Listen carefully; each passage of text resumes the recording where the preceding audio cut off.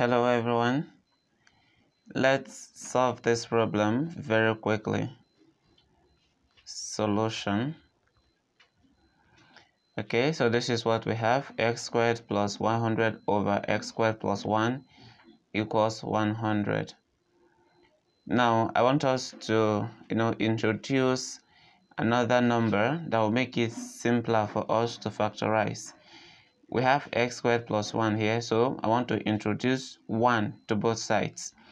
So that would be x squared plus 1 then plus 100 over x squared plus 1 equal to 19 plus 1 okay so since I introduced this one here it has to reflect on the right or else the equation will change now, the next thing we'll do now is replacing x plus 1. Okay, you can even have this in bracket and then have this in bracket so that anywhere you see x squared plus 1, you will use y for it. So let y be equal to x squared plus 1.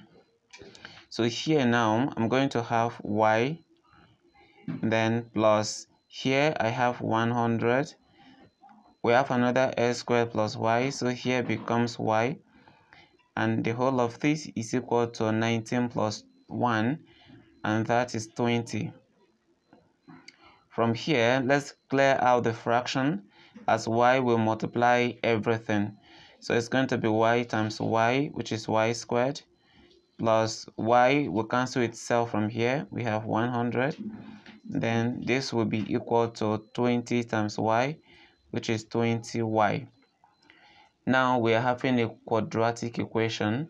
Let us, you know, arrange it properly so that we will have y squared minus 20y plus 100 equal to 0.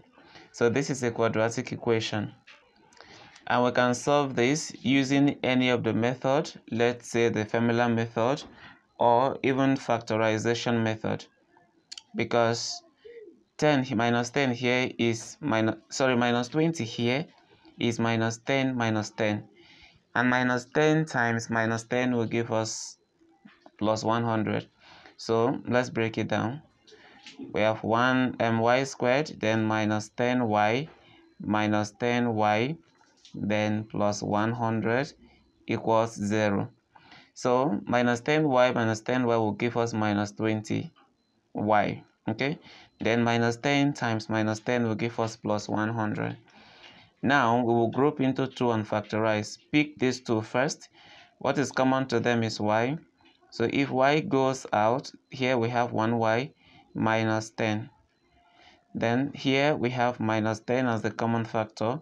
We have 1y. Then 100 divided by minus 10 is minus 10 and this will be equal to 0. Now let's continue. We will pick terms outside of the bracket together.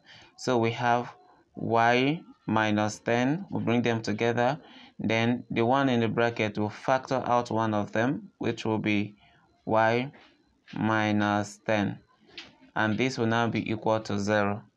So let's apply 0 product rule. From here, y minus 10 is equal to 0 or y minus 10 is equal to 0, right? So this means that y minus 10 is equal to 0 on both sides. And from here, what do we do? We understand that y is equal to 0 plus 10 and then our y is equal to 10. But the question is, were we looking for the value of y Nope. We're not looking for y, rather we're looking for x. But we say that y is equal to um, x squared plus 1. Okay, let's go back there. Where is the place again? Okay, see it here. When we said let y be equal to x squared plus 1. So we brought that back here. So now that y is um, is 10 so I'll have 10 here which will be equal to x squared plus 1 if I collect like terms I have 10 minus 1 to be equal to x squared right? So this means that 9 will be equal to x squared. And what we should do is to make sure that um, to make sure that the basis or the powers are the same so that the basis will also be equal. 9, 9 is 3 squared which will be equal to x squared. Now we have the same power therefore the basis should be equal. So this means that our x is equal to 3.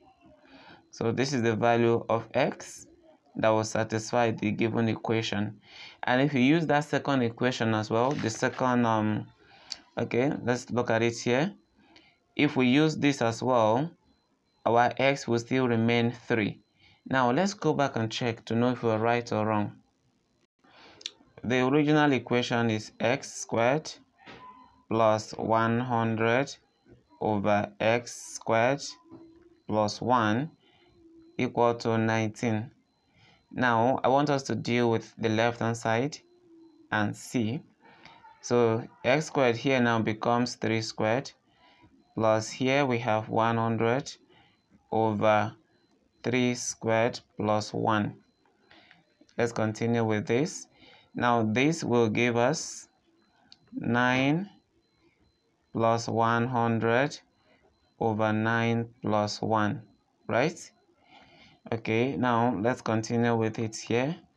We're going to have 9 plus 100 over 10. Now we continue with this so that at the end of the day we find the LCM. The LCM here is 10. 10 divided by 1 is 10 times 9 is 90, right? Okay, so we have 90 plus 10 divided by 10 is 1 times 100 is 100. So at the end of the day, we are going to have 90 plus 100 is 190 over 10, right?